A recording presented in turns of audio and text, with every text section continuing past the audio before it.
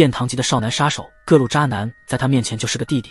他就是日本的木岛佳苗，他一年几乎同时交往超过三十名男性，并且捞钱一亿，杀害三名男友，逃过警方的追捕，同时包养小白脸，参加各种考试，顺利结业。这期间还保证了十几个不同身份的博客定期更新两千条，这真的把我惊到了。时间管理不存在的，他就是时间的主人。光是更新两千条博客，这就足以让我羞愧的无地自容。按理说，只有漂亮的女人才能同时交往这么多男人。然而凡事总有例外，比如木岛佳苗，她身高一米五五，体重七十三公斤，双下巴大饼脸，水桶腰，皮肤粗糙，就是这个又胖又丑的中年女人，却让男人心甘情愿的送钱、送车、送房子。最后把命都送出去了。她的优势不是美貌，不是身材，更不是有钱。据说她在某些方面相当有技巧，可以让男人神魂颠倒，主动给她打钱。这反常识的故事情节，比电影和八点档更让人血脉喷张。他难道是给这几十个男人下了蛊吗？被判死刑的他，在监狱里还结了三次婚，还有人为他奔走找关系，希望他可以被无罪释放。这真是天下之大，无奇不有。咱们今天就来说说木岛佳苗的故事。二零零九年九月，日本崎玉县警方接手调查了一起不同寻常的命案。一名男尸在停车场的轿车内被发现，他死于一氧化碳中毒，在尸体旁还有个炭炉。这名死者叫大井守良之，四十一岁。从现场的情况来看，警方初步判断属于自杀。让警方疑惑的是，为什么自杀现场没有死者的车钥匙？自杀证据链不足，那就不一定是自杀。随后，警方又调查了死者自杀的动机。他的朋友告诉警方，大井守良之不可能自杀，因为他在死前的二十小时还在博客里兴奋地公布了自己的婚讯，他要结婚了，而且事发当天晚上他已经准备要去见未婚妻的家人，然后再和新娘去旅行，甚至还买好了礼物和点心。此外，警方在死者的血液里检测到了安眠药的成分，警方顺藤摸瓜发现了和死者即将结婚的就是这个木岛佳苗。最后，经过详细的调查，才发现车钥匙是他拿的，人是他杀的，钱也被他捞走。最让人震惊的还不是这个，警方发现他用同样的手法连杀了三人。就在同年的一月，一名五十三岁的公司职员被发现死于东京的家中；五月，一名八十岁的老人也同样死于家中。这三人的死因都是一氧化碳中毒，而且体内都检测出了相同的安眠药成分，并且在死前都给木岛佳苗转账了巨额资金。通过调查，木岛佳苗曾经让自己的医师给自己开安眠药的处方，而安眠药的成分恰巧与死者体内检测出来的相同。警察在搜查他家的时候。发现了许多与死者案发现场一样的炭炉，于是警方立即逮捕了这名叫木岛佳苗的女子，并以谋杀三名男子、骗取现金为由，对她进行了控诉。而根据三位死者家属的描述，他们三个都被木岛佳苗迷得死去活来，幸福感爆棚，心甘情愿地把钱交给他。而且听闻木岛佳苗在某些方面记述了得三位受害者死的时候，嘴角都挂着一丝微笑。那么这个木岛佳苗到底是何方神圣呢？木岛佳苗一九七五年生于日本北海道一个富裕的家庭家中，四个孩子，木岛佳苗是长女。他的父母对子女管教非常严格，所有的孩子每周都要跟母亲学习乐器和古典音乐。虽然从小肥胖，颜值又不高，被同学们嘲笑为恐龙，但木岛佳苗的成绩一直都很好。由于生性高傲，她不屑于与同龄人相处。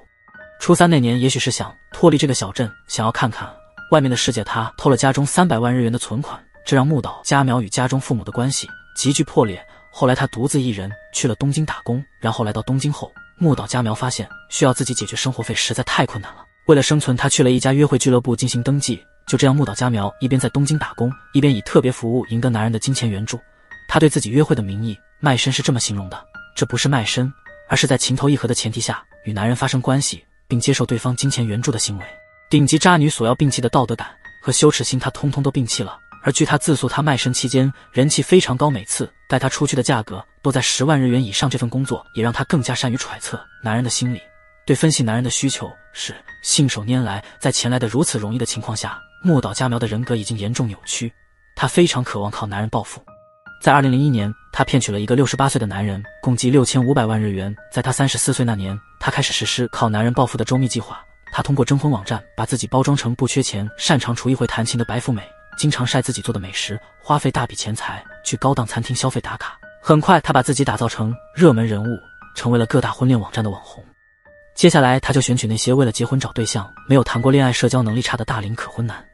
就这样，这个肥硕难看的女人在短短三年间周旋在几十个男人身边，榨取敛财一亿多。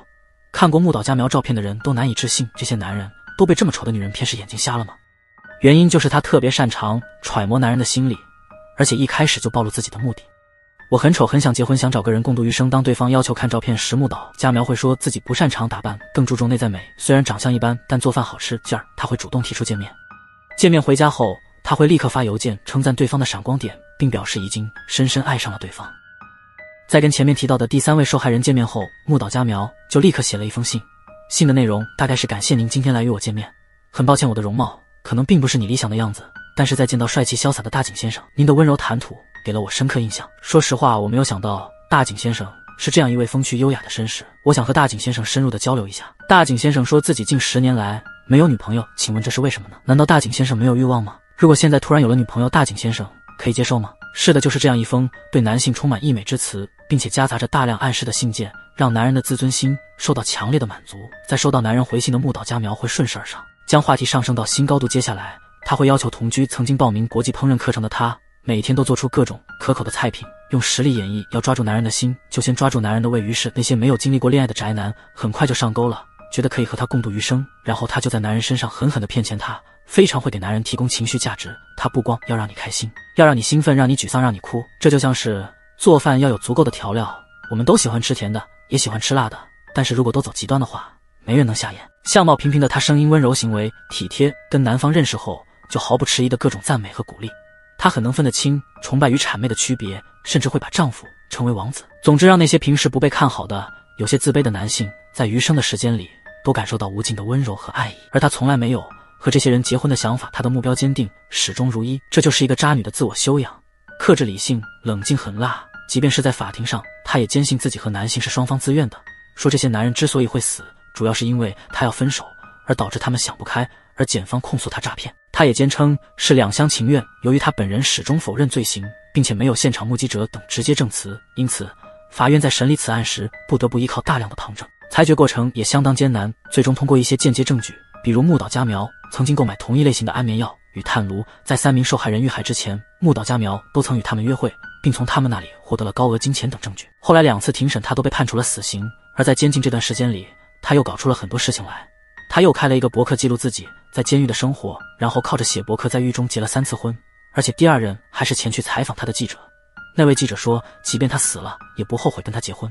不仅如此，还有很多人为他呼吁，希望他可以被无罪释放。但最终他被确认执行死刑。关于他的讨论，民间也从未停止。木岛佳苗也被媒体称为黑寡妇。各路渣男渣女在木岛佳苗面前都是中看不中用的纸老虎，一切不尽如人意的外在条件，他都有办法跨越克服。他才是当之无愧的无冕之王。不要外貌，不要身材。不要钱，仅仅是靠钻研男性心理、洞察男人的需求，就能精准打击、百战百胜。面对男人，他始终没有失败过，只是毁在自己无穷无尽的欲望上。木岛佳苗的存在，暴露的恰恰是那些缺乏情感经验，并且极少被人们看好的宅男们情感的困境。其实我们在生活中，不仅是男性，女性也一样，常常因为缺乏恋爱经验，但是又特别渴望理解和被爱。一旦遇上一个特别懂你又体贴入微的人，我们很难不深陷其中。金庸说过，千万不要相信女人。越漂亮的女人越会骗人，然而事实证明，只要懂人性，丑女也能迷倒众生。你们觉得呢？好了，关于木岛佳苗的故事，我们今天就说到这。